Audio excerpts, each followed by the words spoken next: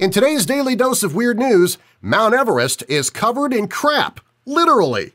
Dogs have lousy short-term memories. A man goes ballistic after being refused alcohol. Peep-flavored milk. And are you an employee? Are you working for somebody? Well, then this day is for you, although your boss probably doesn't know or care. I'm Darren Marlar, and this is your Daily Dose of Weird News. Today, March 6, is Employee Appreciation Day. In celebration, the website WalletHub is out with their list of 2015's hardest working cities in America. They examined 116 of the most populated U.S. cities across seven key metrics, including labor force participation rate, average hours worked per week, and number of workers with multiple jobs. Results show that the top five hardest working cities are Anchorage, Alaska, Virginia Beach, Virginia, Plano, Texas, Cheyenne, Wyoming, and Irving, Texas. Okay, so the hardest working cities are those where the economy is so bad you have to go out and get a second or even third job? You know, I'm not sure that's the kind of hardest working city title you want to be working towards, America.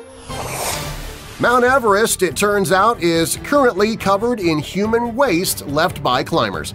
The chief of Nepal's Mountaineering Association says it's become a problem that is causing pollution and threatening to spread diseases on the world's highest peak.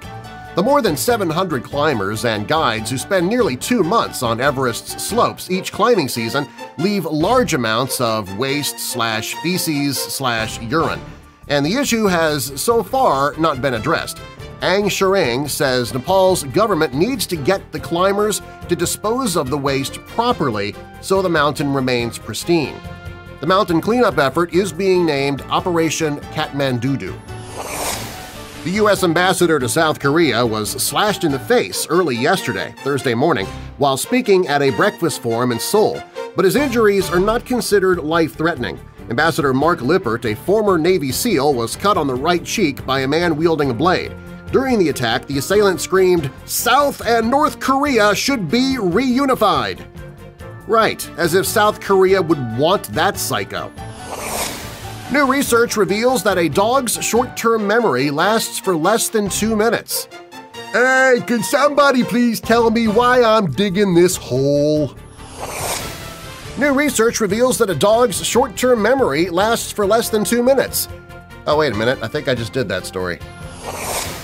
A baby girl was thrown during a three-vehicle pileup in Ohio on Monday, and in what some are calling a miracle, the baby opened her eyes and smiled at rescuers who found her. Rescuers found seven-month-old baby Madison 25 feet from the crash site, still strapped into her car seat after it was thrown from the van on impact. Baby Madison survived the crash with, believe it or not, only bruises to her head. There you go, proof that God exists and that he has an amazing plan for this kid.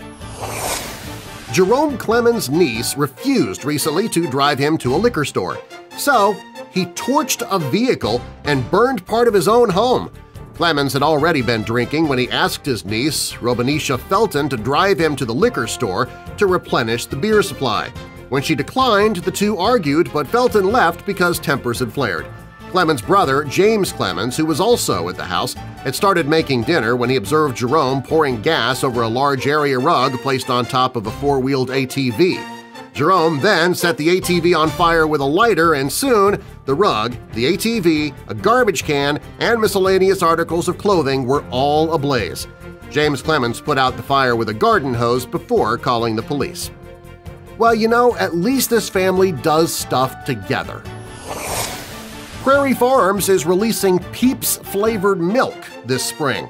This week, Peeps milk will be available in three flavors – marshmallow milk, reduced-fat chocolate marshmallow milk, and reduced-fat Easter eggnog. It's Peeps-flavored. At this point, are you really concerned about it being reduced fat? A restaurant's policy to give customers a percentage off their bill on their birthday actually became a 7-cent refund for a man who turned 101 years old. Joseph Nelson, who celebrated a birthday breakfast at the Belmont Hall and Restaurant in Manchester on Monday, said he never thought he'd live this long. The restaurant's policy is that customers get a percentage taken off the bill on their birthday based on their age. At 101 years old, that's 101% off the bill, so the restaurant owed Nelson money. Nelson ate scrambled eggs and ham topped off with a piece of chocolate cake. Free food, people! If that's not an incentive to live longer, I don't know what is. I can taste the patty melt now. Only 54 more years to wait. That's your daily dose of weird news. I'm Darren Marlar. Get more weird news anytime, anywhere with the Daily Dose of Weird News app. You can download it free for Apple or Android, subscribe to my YouTube channel, visit me on Facebook, Twitter, LinkedIn, and you can also sign up for my newsletter, The Marlar Sheet, to be notified of new videos, stay up to date on my upcoming TV, film, and comedy projects. You can find it all at dailydoseofweirdnews.com.